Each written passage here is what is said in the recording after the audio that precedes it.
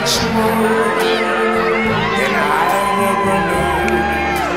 And I think to myself, what a wonderful world.